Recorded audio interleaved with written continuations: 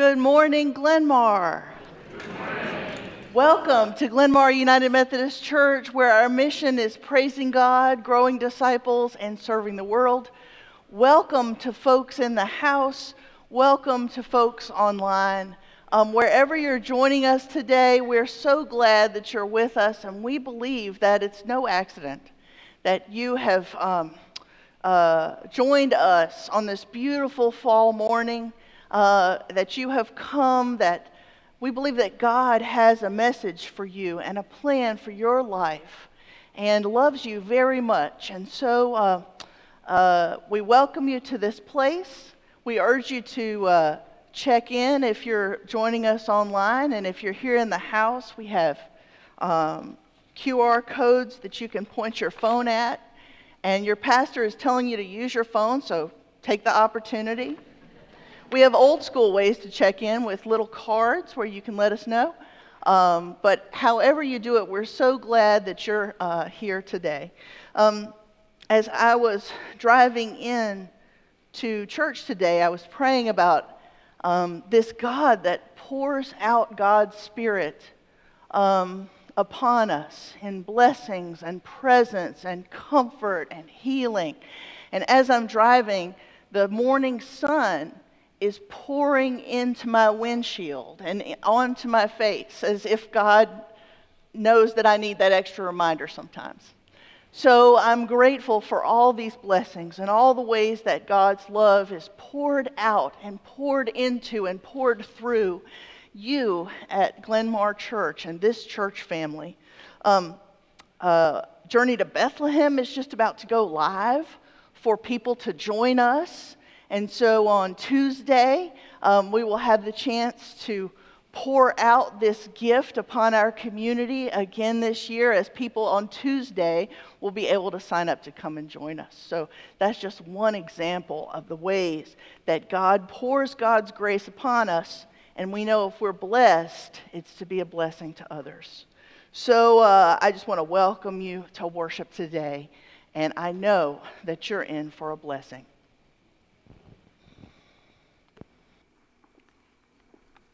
Good morning. The frost is on the pumpkin this morning for sure. to quote James Whitcomb Riley, which is a wonderful poem you should look up when you go home.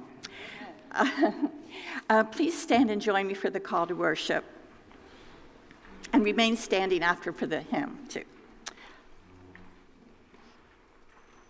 All that I am and all that I have, whatever gifts I received, I cannot brag. They are God's grace poured to me. God's lo- God loves me so much so I can be free. God's amazing love pours grace and mercy. God wants us to walk in love generously. God works in us, through us, and with us. Even if we can't understand, we must trust.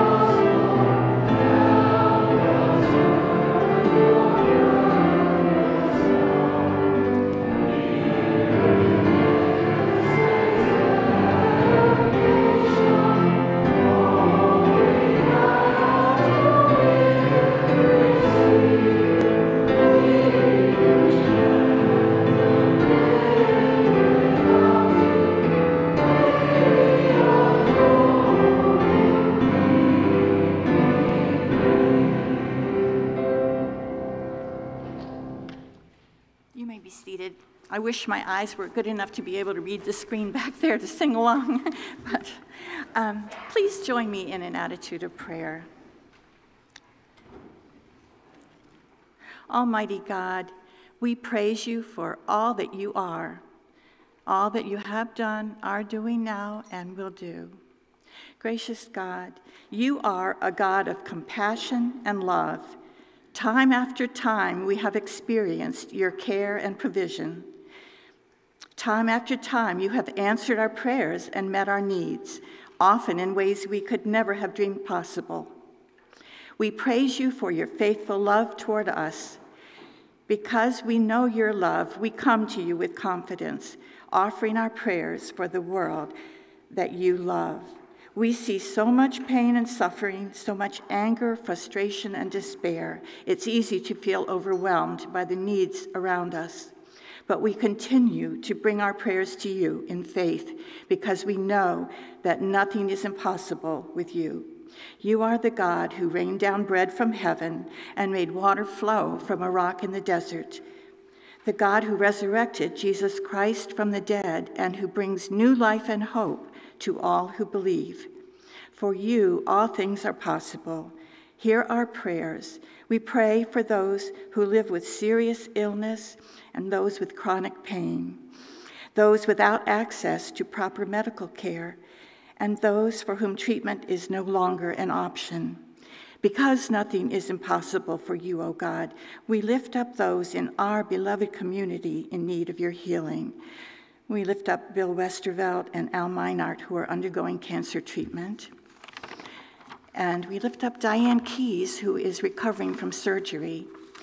Steve Lakaitis and Willa Brooks, God, you know their needs. You see them. Marie Moineau, we pray that you will heal her back pain, Lord. We pray for Celine that you will heal her eyes, and for she's Sophie's sister, Lord. And we pray for Suella Klevenow we pray for those who mourn the loss of loved ones. We lift up Robin Green on the loss of her mother. We pray for the people of Ukraine, and Lord, help us to be diligent in our prayer, not just on Sundays, but throughout the week. We pray for peace for those people and for other people in war torn areas. We pray for racial justice and reconciliation, for victims of gun violence and all other sorts of violence, and for the pe- people who love them. We pray for our children and teachers and administrators of our schools. We pray for your protection over them, Lord. Please provide for them, protect them, and guide them. We pray for all those in need of healing and hope. We pray for missionaries and all who serve in mission, and for our service men and women around the world. And Lord, I lift up a prayer for the Navy hospital ship Comfort, which is even now sailing to Central America and um, Haiti to treat people there so much in need of care. And I pray for all our local, national, and international leaders that they will be guided by you, Lord, and that your will will be done through them and in them. In your abundant love, hear our prayers, O God. Merciful God, you sent your Son, Jesus Christ, to show us a different way to live, the way of deep humility and obedience. You've called us to love one another and to work together with one heart and mind, balancing our needs with the needs of those around us. Give us the courage to follow you in all that we do. We pray this in the name of Jesus the Christ, who taught us to pray, Our Father, who art in heaven, hallowed be thy name. Thy kingdom come, thy will be done, on earth as it is in heaven. Give us this day our daily bread, and forgive us our trespasses, as we forgive those who trespass against us. And lead us not into temptation, but deliver us from evil. For thine is the kingdom, the power, and the glory forever. Amen.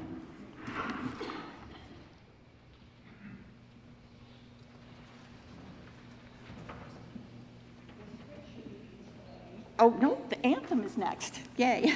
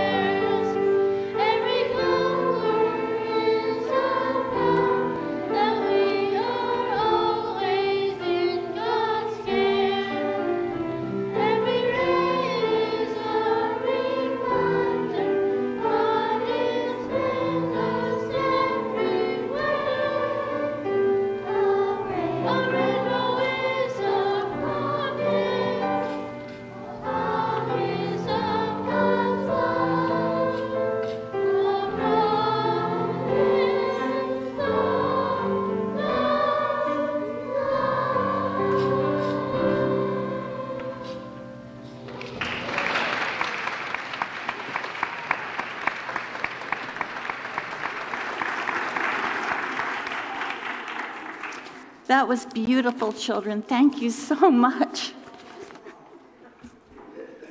Today's New Testament reading is from Paul's letter to the church at Philippi, and it's Philippians chapter 2, verses 1 through 18.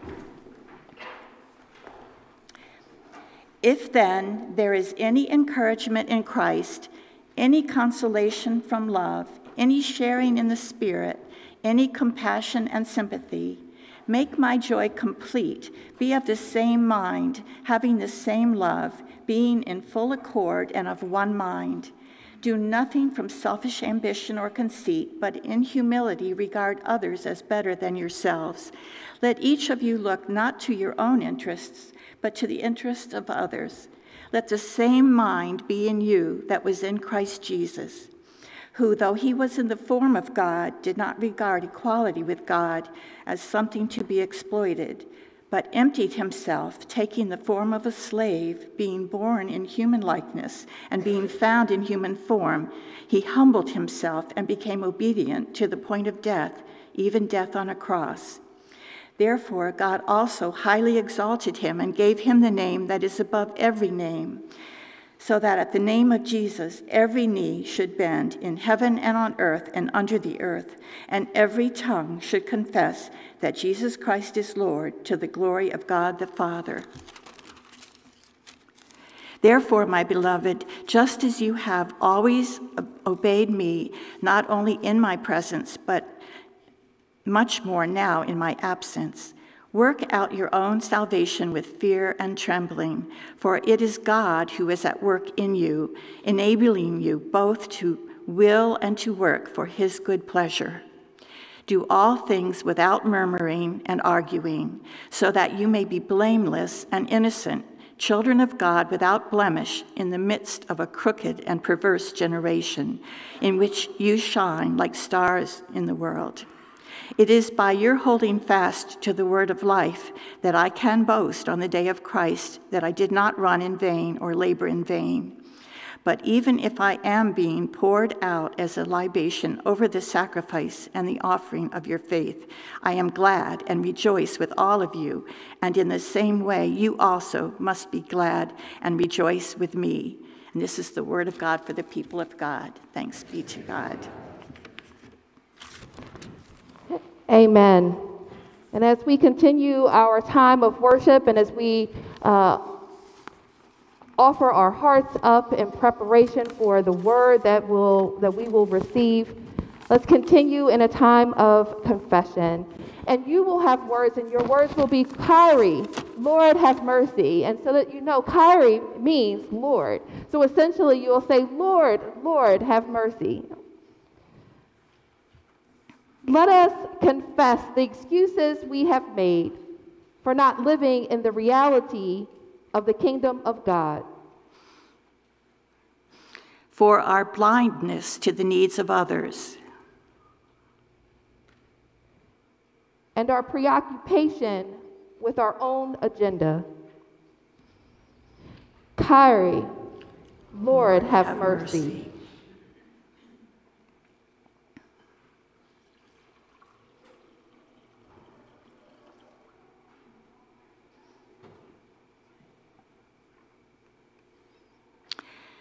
For our failure to pay attention to the still small voice in our lives. For our surrender to fear and self protection. Kyrie, Lord, have mercy.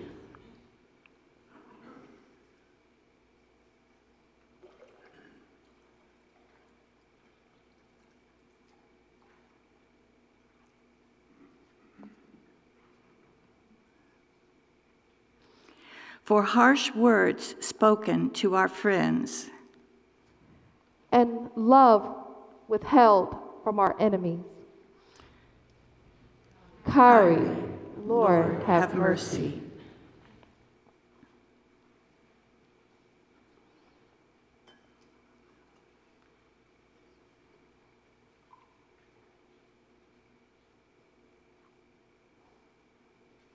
For seeking success rather than faithfulness. for praying without acting. Kyrie, Kyrie, Lord, have mercy.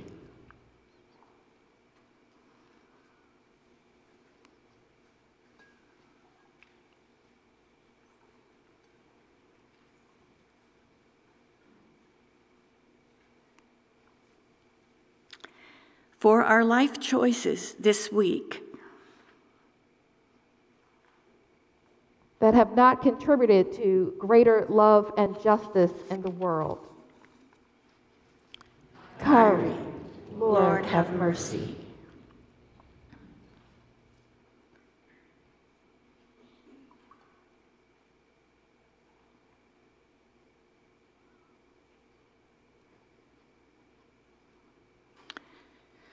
O Lord, who pours your Spirit into us, you are our strength and our might. You are our hope and salvation. Listen to what God says. I have taken away the judgment against you. You are forgiven.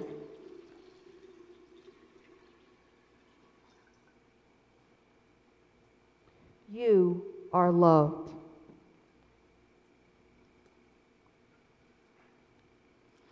With joy, we will draw water from the well of salvation.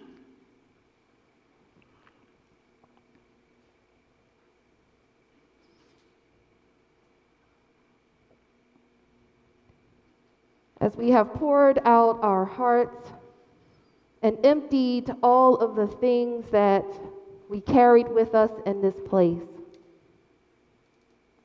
remember the words that we are forgiven we are loved.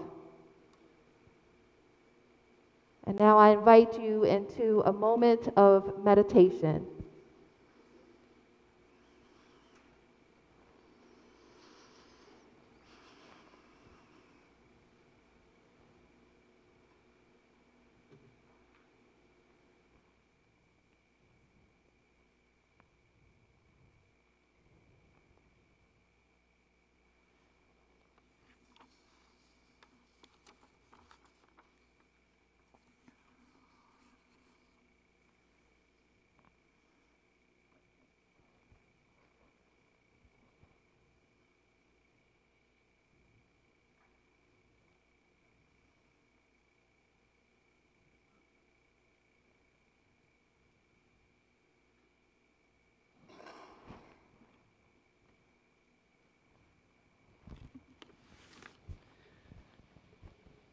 Gracious God, for the gift of your Holy Spirit, we give you thanks and praise for your grace outpoured, for your word that goes forth from your mouth, and like the rain that waters the earth, pours out and does not return to you until it has accomplished the thing that you have sent it to do.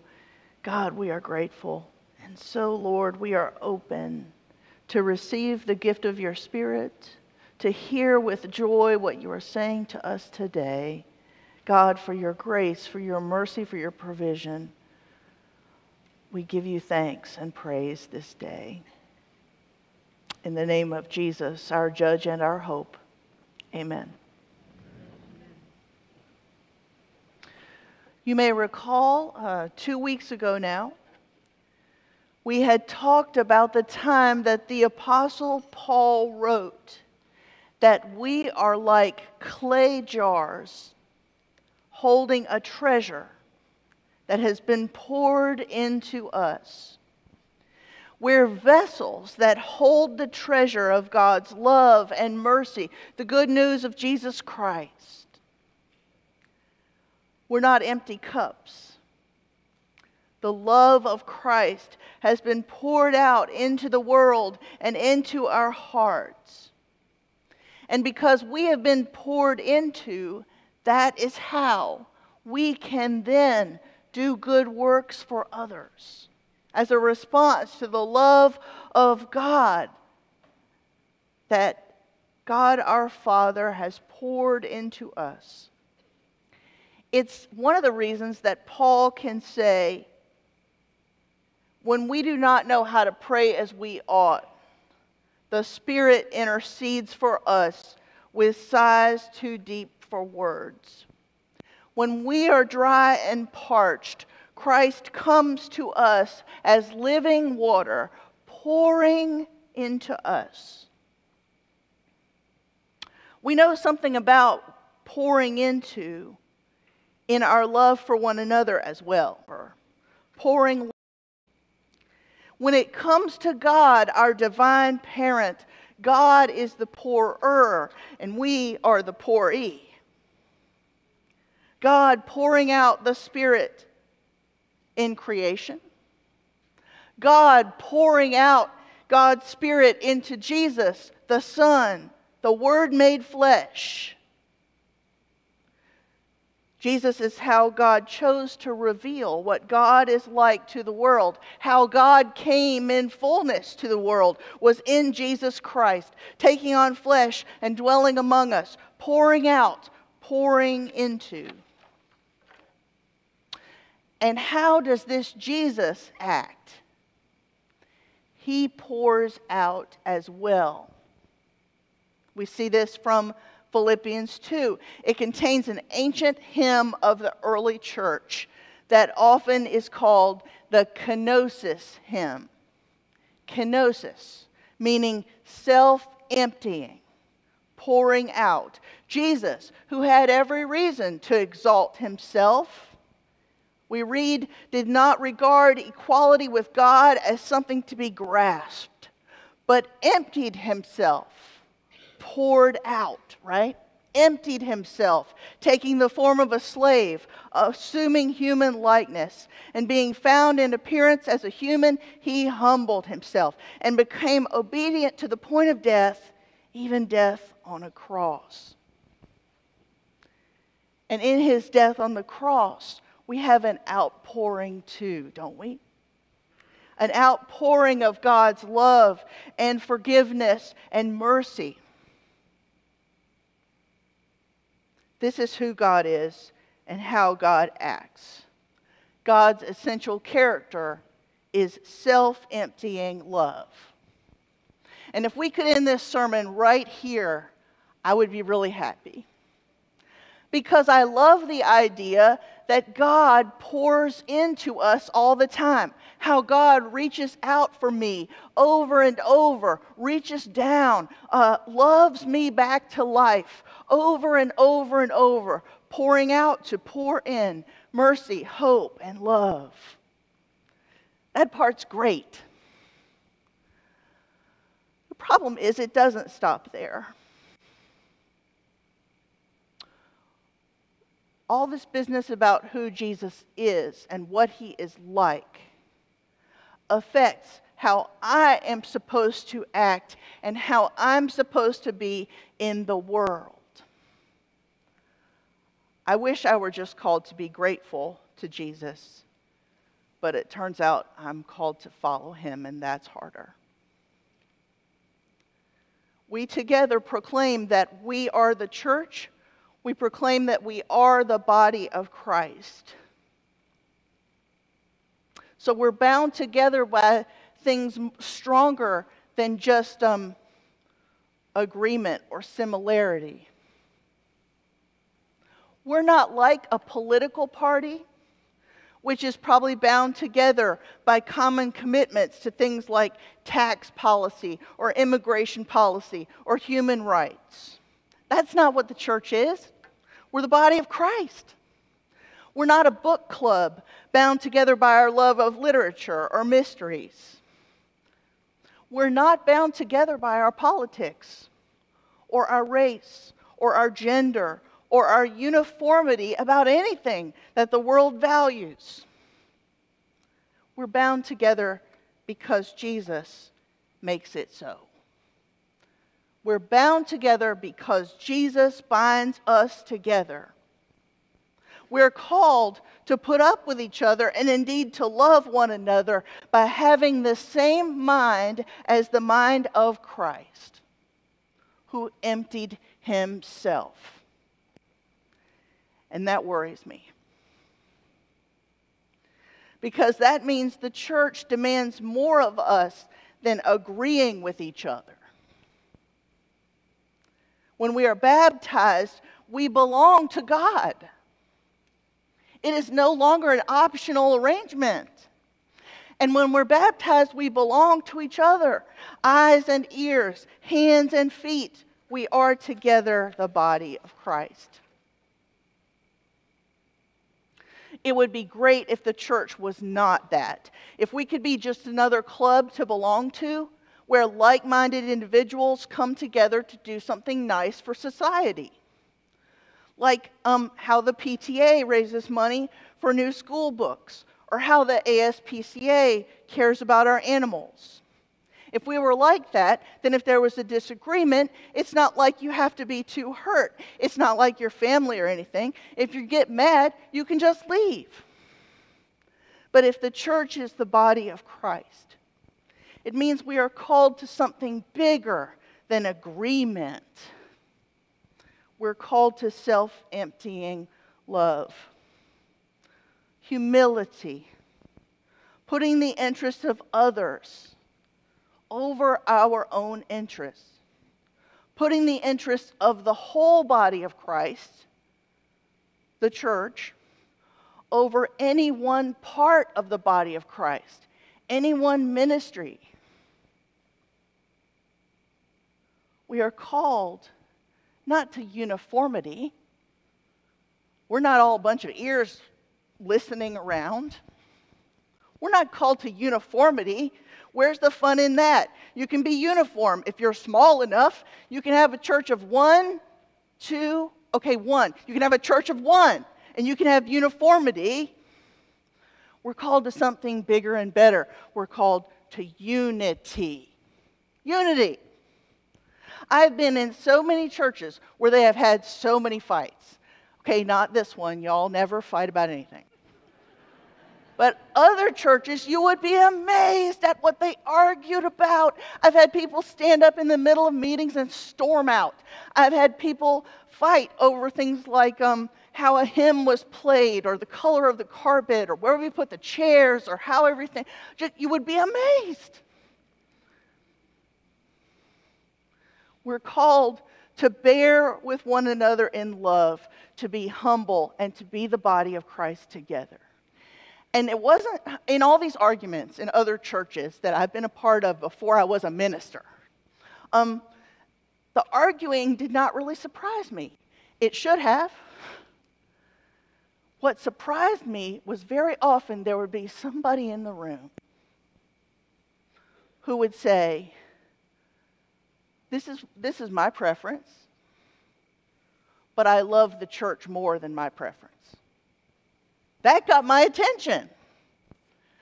I had somebody in the middle of some gigantic church fight that was a choir member, and she said, uh, the only choir member who ever disagreed about anything. And, um, and in the midst of this big fight, she said, uh, I, I, it was such a big fight, and I was like, they're all going to leave. That's it. We're going to have to shut the church down. I don't know. I don't know what's going to happen. And this saint of the church said, Oh, Mandy, you know, I was like, I was clearly so young and inexperienced. That was how she communicated, like, oh, this poor girl. You know what I mean? She's like, it will take more than just this to break the bond of love with my church. This is my church. I love them forever. I can't, I wouldn't go anywhere, just like I wouldn't cut off my own hand. I'm not going anywhere. That got my attention called to bear with one another in love, to be humble, to be the body of Christ together. My illustration for this I've shared with you before, but just in case you missed it, um, when my husband and I were dating, um, he took out his wallet for something. And I noticed he had a little piece of paper in there. And I'm really glad it wasn't another girl's phone number or anything like that. I looked at it and it said, I'm third. Uh, and Eric was all of, um, were you like 20 years old? Carrying a thing, I'm third in my wallet. And I said, honey, what's this? Uh, you're third. And he said, oh, yeah, that's from my high school youth group. It may have even been confirmation class, but I could just be straight up making it up now. But it was, it was your, your youth group, it was a youth group exercise where they learned God is first. Love the Lord your God with all your heart, soul, mind, and strength. And the next greatest is like it love your neighbor as yourself. God, neighbor, then me. I'm third. Eric was learning, thanks be to the adults that poured into you, what it was to be a Christian. Jesus reminds us, doesn't he, that true greatness looks like service. When he was asked, um, uh, Who is the greatest? How can we be great? Jesus said, If you would be great, be a servant. If you would be the greatest, be a servant to all.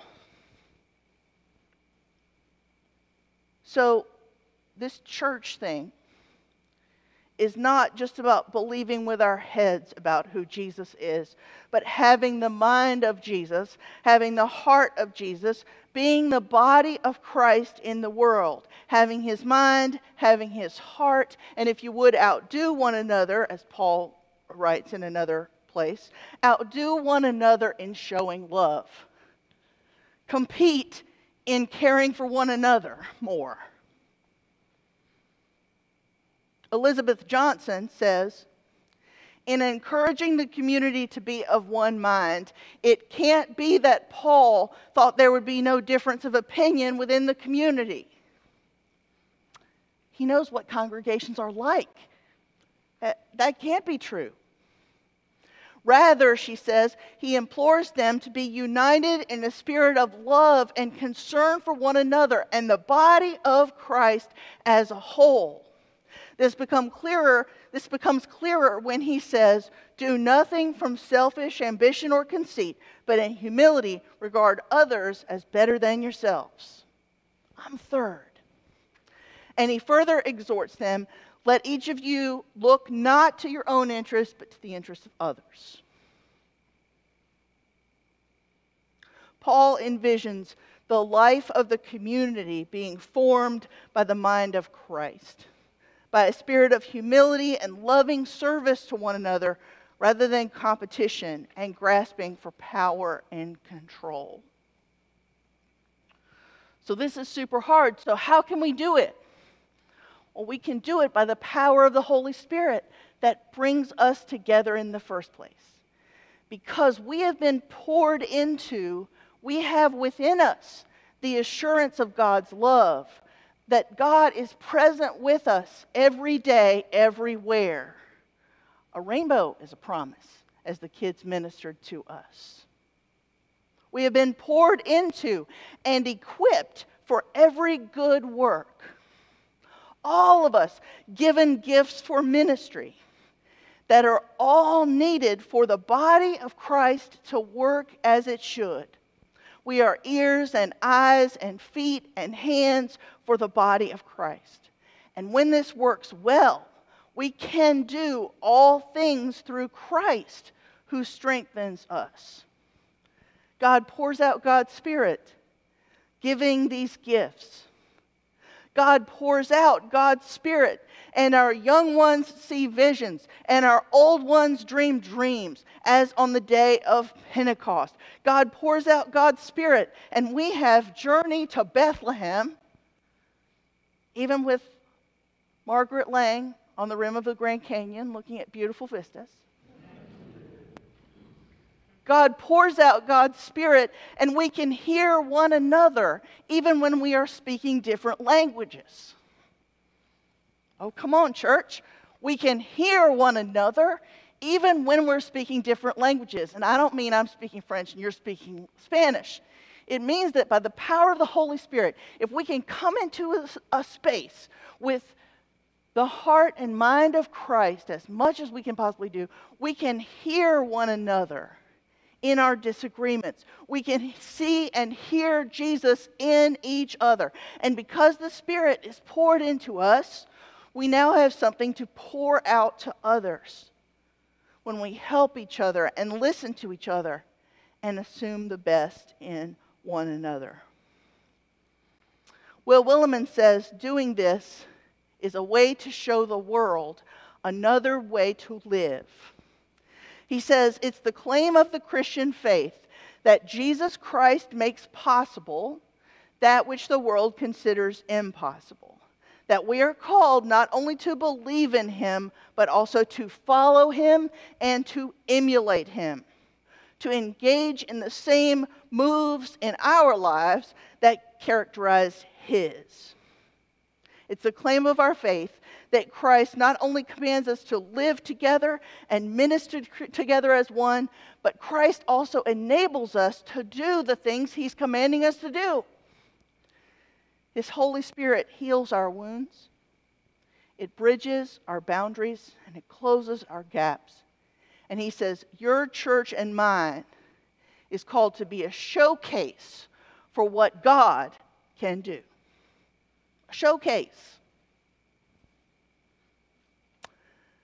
In the early church, the pagan world looked at the early church and they marveled that there was this group of people that was not organized the way the rest of the world is organized. The rest of the world was organized on the basis of family, gender, class, and money. The surrounding culture looked at the church and they didn't say, um, look what, you know, fancy buildings they have or look at their tax exempt status. None of that. They, they, they, they, they looked at the church and they said, Look how they love one another. Mind blown. That should still be what the world sees when it looks at the church. And I believe it is what the world sees when they look at Glen Mar. I see it every day. Look how they love one another. Earlier in the sermon, I said, uh, if you want to know what God is like, you should look at Jesus. And the characteristic of God looks like self emptying love. It also looks like God is in the business of bringing people together in His name. That's what Jesus did. And so we see that's our assignment too to bring people together, divided by everything that can possibly divide us, right? I don't think we could agree on anything. Called together to do something different. Called together by something more significant than our sameness. Sameness is not a Christian value, unity is. We come from all our different places, all our different backgrounds, and we are committed to walking together in the same direction toward Jesus who has walked toward us. I'm walking slower than anybody. I don't walk fast. Y'all are very patient with me. I know it feels particularly difficult to do this now, in this place and time when we seem so polarized as a society. I get it. It's almost election time. It's early voting. Vote early, vote often, vote. Um, But it, it, it's hard to do this when we seem so separated, when differences seem to lead the way and lead not just to separation, but differences seem to lead to hate and seem to lead to violence. And these trends come from a lot of places, and you don't pay me to be your sociologist for you. I think one of the things, though, that makes it worse is when you have this device in your hand, um, like the ad people and the Facebook wizards and whatever, they know what you're clicking like on, and so they give you more of that. It's like uh, these rats that press the button and they get a shot of heroin or something. And what me, it, that, that reinforces um, that we're all in these little silos, and um, it reinforces the differences. It makes us into us and them. The media and other places are incentivized to maximize polarization because if there's conflict and drama, then that leads to ratings and gets attention. And that's as much as I know about that. And I could be wrong, I'm wrong a lot. Don't be mad. I will say the church is one of the few places left where people are called to be bound together and love one another without choosing. You don't get to choose. You come, you join, you're one of us. There's a seat at the table. Everybody's in. The caveat is you don't get to kick other people out, you don't get to choose. But it's a gift because we can show the world what Jesus can do and the difference Jesus can make. Jesus is the tie that binds. The one who pours into us and calls us to pour into others. The pouring in part, that's a blessing. But we know at Glen Mar, if we're blessed, it's not as a reward for past service, right? If we're blessed, it's to be a blessing to others. If we have been poured into, we're called to pour into others. It means church is not just another thing that we do, church is who we are. Prayer is who we are, not just another thing we choose to do. Worship is who we are, not just another thing we choose to do. Using our gifts in church and sharing our financial giving with the church is who we are, not just another charity that we give to as wonderful as charities are. Serving is who we are. Forgiving is who we are, not another thing we choose to do. You know, the church is called the body of Christ, and Dietrich Bonhoeffer wrote The church is the way the risen Christ has chosen to be present to the world. If that's true, it makes sense that we're the body of Christ. The church is the way the risen Christ has chosen to be present to the world. And that's why it's so important that we make Paul's joy complete. That we love one another and not fight and fuss and mistrust each other. And when we do these things, when we do fight and fuss and mistrust each other because we're human, that's not the end of the world. We have tools for that as Christians. We can recognize, we can repent, we can forgive. Our task is too important, and the time is too short. By God's grace, Glen Mar, our cup runneth over, doesn't it? Doesn't it? God has poured and poured and poured into us. I'm so thankful for the ways that we pour ourselves into others. As Paul put it, if there is any comfort in Christ, any consolation from love, any partnership in the Spirit, any tender affection and sympathy, make my joy complete. Be of the same mind, having the same love, being in full accord and of one mind. Do nothing from selfish ambition or empty conceit, but in humility regard others as better than yourselves. Let each of you look not to your own interests, but to the interests of others. Let the same mind be in you that was in Christ Jesus. Amen. As we respond to the word read and proclaimed, I can think of no better way to respond to a God that has given so much, that pours out God's grace and love and mercy. I can think of no better way to respond to that God than with generosity ourselves. John 3:16 says, "For God so loved the world that he gave his only son." God is a giver, a generous giver. And so we who are called to imitate Christ are called to give also. Um, because of your giving, we can be the body of Christ together. And I see it every day. And so, however you choose to give, whether in person or online, um, I'm grateful. And the outpouring from you is blessing others in the church, in the neighborhood, and around the world. Let us pray for the offering we're about to receive.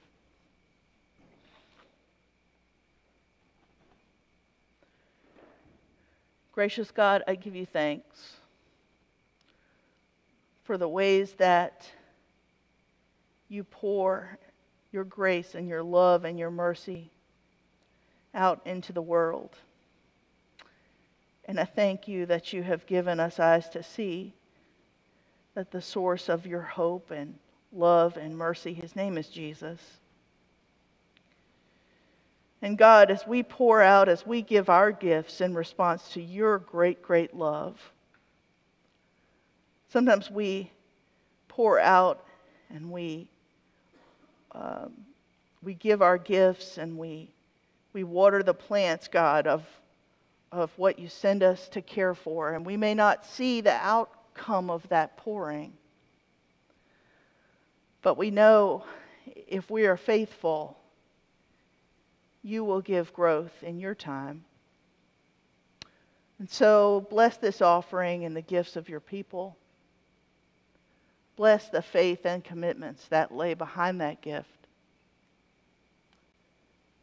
Bless, God, our love reflected in these gifts and offerings. It's a reflection of the love that you've given us. In Jesus' name, amen.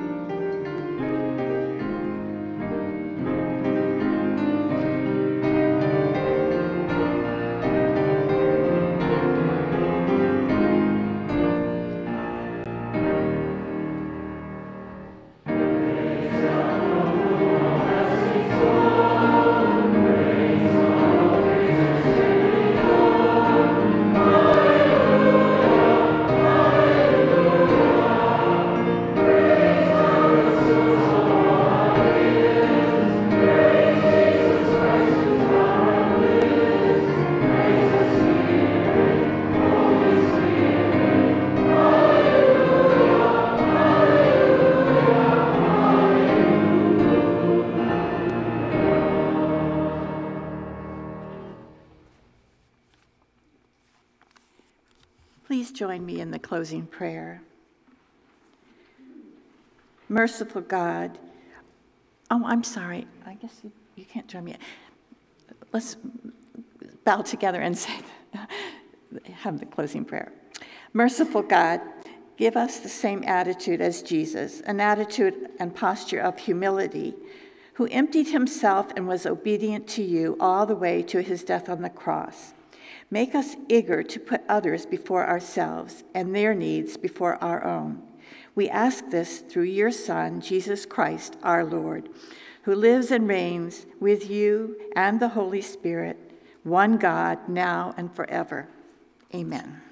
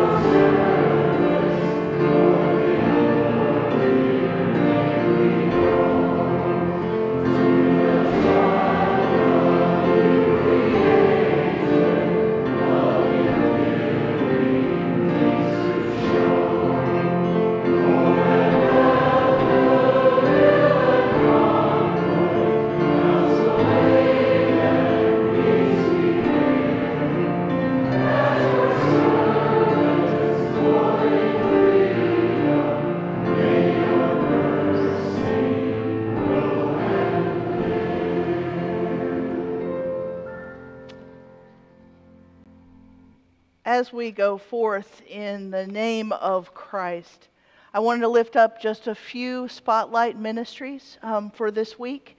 I wanted to remind you that um, this Saturday uh, we will have our sixth annual Jewels for Hope sale. That Saturday, November 5th. It's from 8:30 to 2. 100% of the proceeds will benefit HopeWorks, which is Howard County's sexual assault and domestic violence center. HopeWorks helps their clients with legal, medical, law enforcement, financial, and any emergency needs to get them back on a stable and safe footing. And as uh, in many areas of our world, the needs of their clients have escalated um, as the violence after COVID um, has become more intense. And so you can support their mission by making the sale a success, by attending with your friends and neighbors, or making a cash donation to HopeWorks. And if you have questions, um, there's a table in the gathering place that can answer any questions you may have. This is a great way to get started on your Christmas shopping, folks. Um, the, the, the inventory that they have is amazing. And this is also a way to give a present to Jesus, the birthday boy, right? That I'm buying a present that then I will give to my family, but I'm also giving a gift to people who need hope and healing in Jesus' name. Sounds like a perfect thing for the body of Christ to be doing. The next thing is that Christmas is coming. I know that's hard to t- wrap your head around. Um, Family Christmas Eve needs you. We're looking for children and youth and young adults who want to be a part of the Family Christmas Eve uh, skit and worship experience. And we're doing some of it pre recorded.